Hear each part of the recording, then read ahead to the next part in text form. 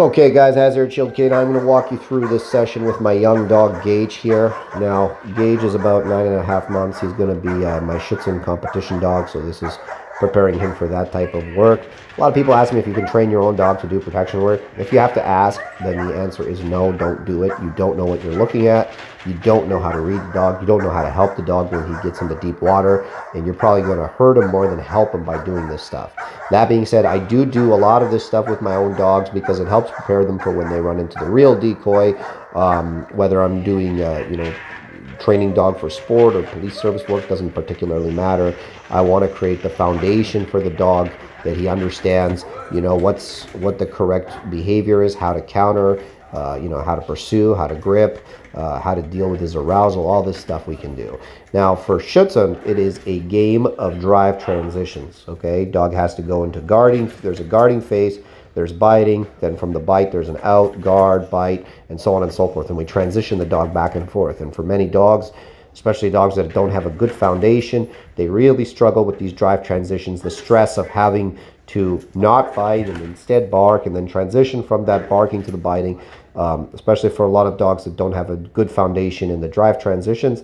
Um, you know, it, it really becomes very difficult for them. So I'm going to kind of walk you through what I'm doing and why I'm doing it.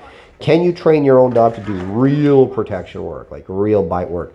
Uh, you can, again, lay the foundation, but you cannot train your dog to bite for real on yourself. I think that's a very uh, dangerous road to go down um, because at the end of the day, there's a certain level of pressure in protection work, and you don't want your dog to believe that the solution to pressure from you is to bite you. Uh, that's not a good idea at all. So even for my dog here, he's going to be a sport dog, but he's going to have some real hashtag real training and I'm going to be using another uh, decoy for that type of stuff.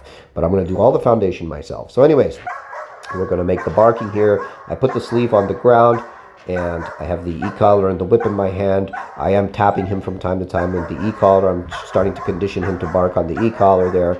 Uh, just a little bit on a low level. And you'll notice me moving my head um, when he's barking to get his attention up. I also mark the success of the barking and the transition with the e-collar tapping, which you saw with the red light there. And again, now I put the whip up a little bit to get his attention a little higher. And again, moving my head when he barks in my face, tapping him on the head with the lash to notify him that it is a drive transition. I also yell and tap him with the e-collar. So again, asking for that drive transition, and there it is. Head was down a little bit, then he looked up in my face, barked. I marked that instantly and went to the prey transition. He made it nicely. He pursued the sleeve and he bit. You'll notice I never give him the sleeve right away. I make him chase it from side to side and make him miss it a few times and then I give him the grip. This ensures that the grip is nice and firm. Here I'm trying to stimulate a little pulling because he is a thrashy puppy. Uh, he really wants to thrash it. He's not messing with his grips, which is good. There's no munchiness. He's got nice, firm, hard grips, um, which is exactly what I want partially genetic, partially formed by me. Um, here, once he has the sleeve, even when it's on your arm, he is a thrasher. So right here now I'm working, if you remember my prey pyramid uh, video, watch it if you don't. Um, the arousal is the barking, the pursuit is me making him miss the sleeve from side to side. Um, the gripping part is what we're working on now, uh, or the, the possession part is what we're working on now. Once he has the sleeve, I want him to possess it. I don't want him to want to give it up.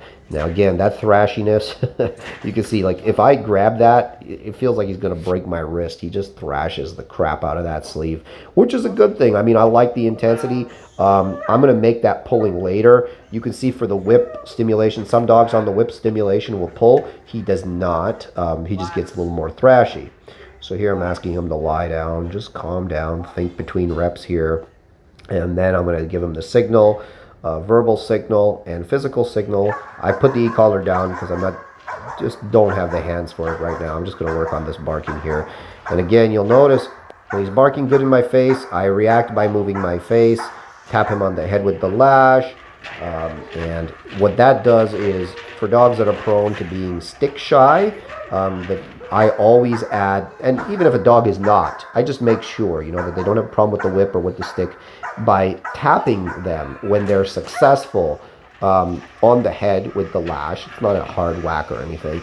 And it just helps the dog and preps the dog to believe that instead of, oh no, I'm getting you know, whacked with this thing, oh, that means actually something good's about to happen. So I'm classically conditioning. Oh, there, that was beautiful. So you can see there, the rhythm changed. So his barking, the problem with his barking is with like really intense young dogs. What is he doing? He's going ba ba ba ba ba ba ba ba ba ba ba. It's like a machine gun. His barking, right?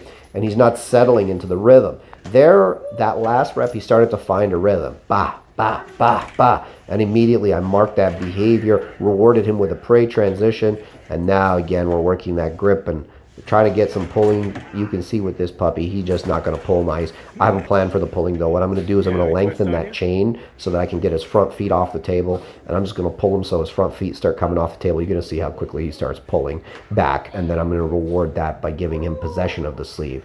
Once he has the sleeve, again, we're going to work on him being calm. We don't want too much crazy with a young dog like this. There's a lot of fire there, and we don't want it to burn out of control. So now he's been successful. He's going to have that, that time to just possess the sleeve, to hold the sleeve, to work on that grip. You know, uh, it's really easy to get a dog like this super nasty and super unclear. I want to keep him really clear. The clearer he is, the more powerful he's going to be. I don't want him thrashy. I don't want him crazy. I want him calm, and that's what we're working towards. I'm working towards him finding his rhythm in the barking. I'm working towards him getting uh, calmer and, and, and stronger on the grips.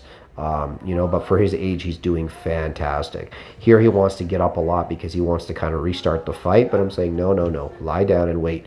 I don't want him too uh, hot to trot, so to speak, because that's going to cause me problems down the road. Anyways, that's the end of the first session.